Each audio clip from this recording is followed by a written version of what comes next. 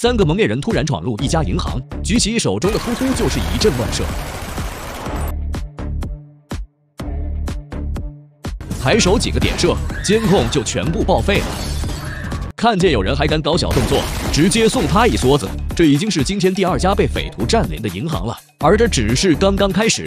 一声轰鸣声响起，第三家、第四家、第五家，警察黑妹怒气冲冲地赶到了现场。第一件事竟然是先打电话给一个正在监狱里的大毒枭，他质问大毒枭是不是你派人干的。大毒枭也是无奈了，我在监狱啊，大姐，哪有闲工夫搞这个？